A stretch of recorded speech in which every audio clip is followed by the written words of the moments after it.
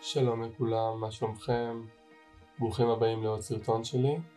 היום אני הולך אה, לעבוד על כמה כותרות מגניבות. בתקופה האחרונה הייתי מאוד מאוד עסוק בכל מיני פרויקטים אה, וגם אה, בעיצוב של כותרות.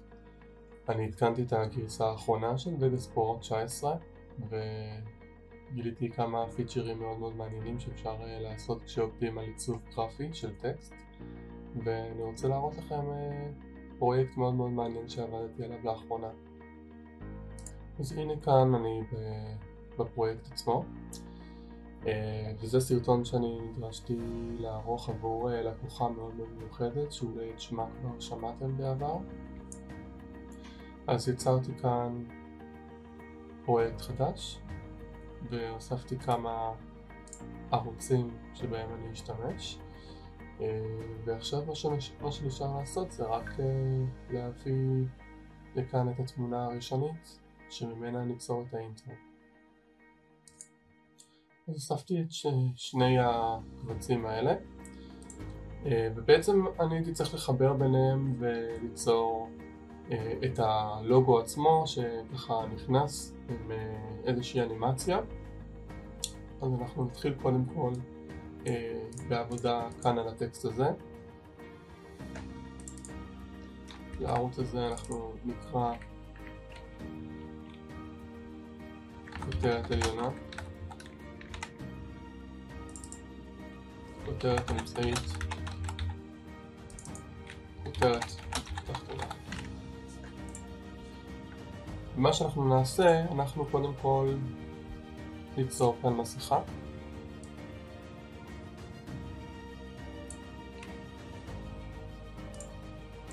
רק עם אה, שם גלית וכבר עכשיו אני אצור כניסה. אני אשתמש באפקט שנקרא פוש.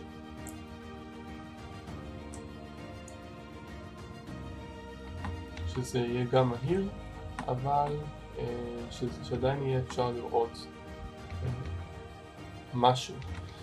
אם הייתי רוצה הייתי יכול להוסיף איזשהו טשטוש קטן, מושן בלור אבל uh, במקרה הזה אני דווקא אוהב שהכניסה מאפשרת לראות את השם ולכן אני משאיר את זה ככניסה שהיא חלקה ולא כניסה שהיא מטושטשת.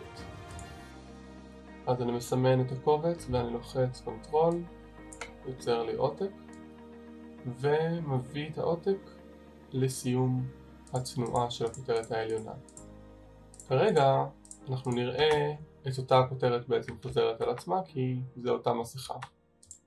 אנחנו ניכנס כאן למסכה ואנחנו נסמן רק, רק את הכותרת האמצעית. עכשיו אם אני אעלה את זה למעלה בעצם יראו גם קצת מהכותרת הראשונה ולכן אני אהיה חייב לעבוד כאן בצורה מאוד מאוד נקודתית. אני אסמן פה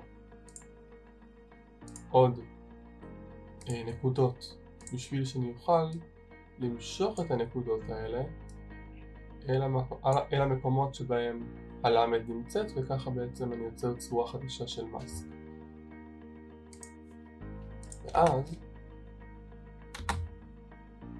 אבל אם אני אעשה את זה אני אראה כאן שהלמד היא בעצם היא נמצאת מתחת ואז אה, זה פחות נראה טוב ולכן אני אשנה את זה כאן.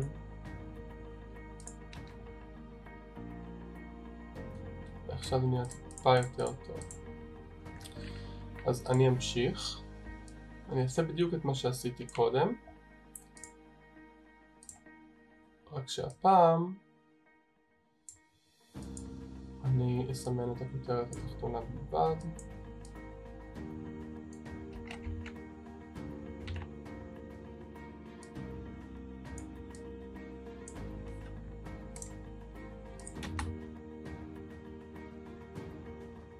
מעולה. ברגע שאני סיימתי את התנועה, בפועל אני סיימתי עם השלושה האלה. אני יכול לחזור חזרה לקובץ המקורי ולהשתמש בו. כי בסופו של דבר זה אותו קובץ, רק שהוא לא מחולק. אה, ועכשיו אני יכול להתחיל לעבוד על הכותרת התחתונה. אז אני הולך כאן ויוצר תנועה. נניח בערך פה. אני ארצה שהטקסט שלי יקטן וטיפה יעלה למעלה. אני רוצה שהתנועה הזאת היא לא תהיה תנועה ליניארית, אלא תהיה תנועה שהיא חלקה. אז אני משייך את כל הנקודות האלה לסיבוב, ואנחנו נראה את ההבדל.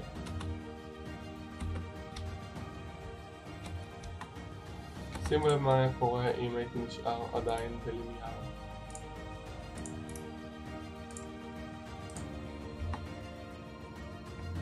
התנועה הייתה מאוד מאוד מאוד רציפה, ליניארית, אבל כשאני עושה את זה בצורה חלקה, זה יוצר משהו מאוד מאוד אותנטי בתנועה הזאת. זאת אומרת שיש משהו מאוד גלי, לא קווי בתנועה.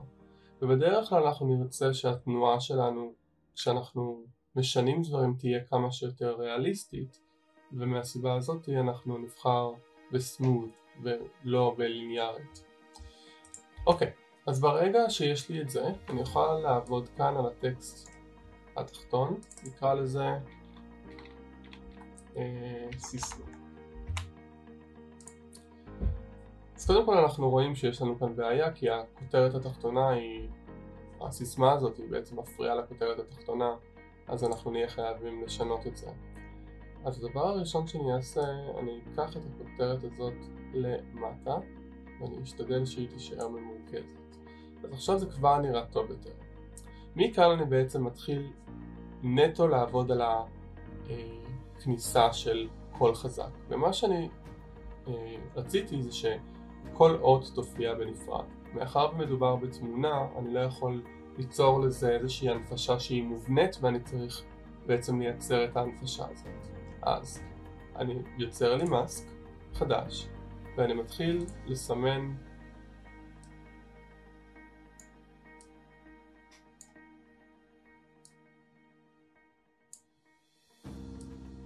אותיות. עכשיו אני יודע שזה נראה קצת מוזר, אבל ככה אנחנו הולכים לעבוד. אנחנו לוקחים בערך מ... בוא, בערך. ברגע שהוא מסיים את התנועה שלי. אם אני רוצה להיות לדעת בוודאות, אני פשוט מאוד אה, לוחץ כאן על הסינק ואז מה שמסומן לי פה זה בעצם הנקודה שבה התנועה מסתיימת. אז הוא מתחיל מכאן. אני נותן לזה משהו כמו בערך שנייה, ואז חוזר חזרה לפה.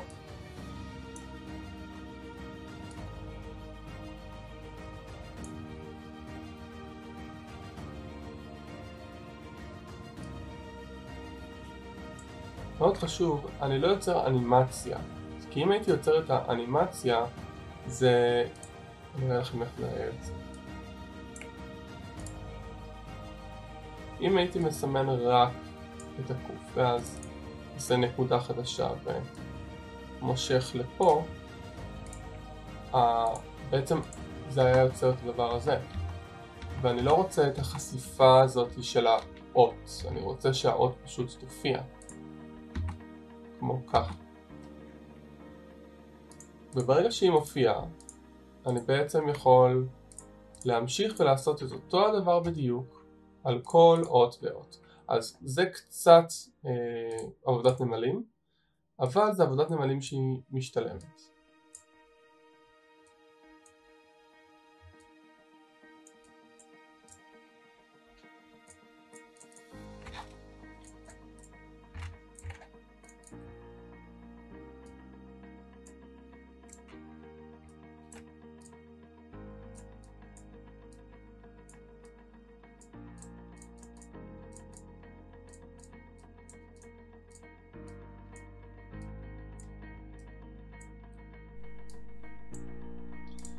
מאוד מאוד חשוב להיות מדויקים פה, כי אם לא תעבדו בצורה מדויקת, זה לא ייראה מקצועי, זה לא ייראה טוב. אז חשוב מאוד באמת אה, לוודא שכל החלקים אה, נכנסים לתוך הריבוע, שלא נשאר איזשהו חלק מחוץ לריבוע, כי אז פתאום זה יקפוץ. ועכשיו התנועה הזאת נראית ממש ממש טוב.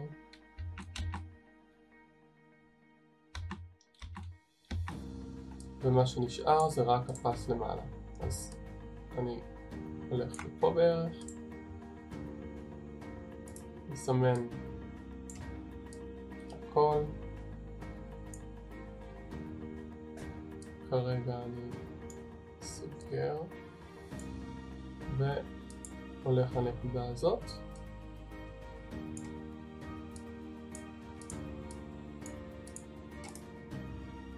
אני לא רוצה שזה יהיה ליניארי שוב, אני רוצה שזה יהיה סמוד.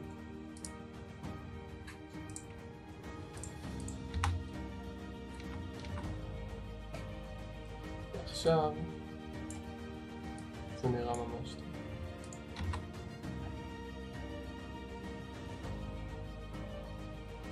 בואו נראה את הכל.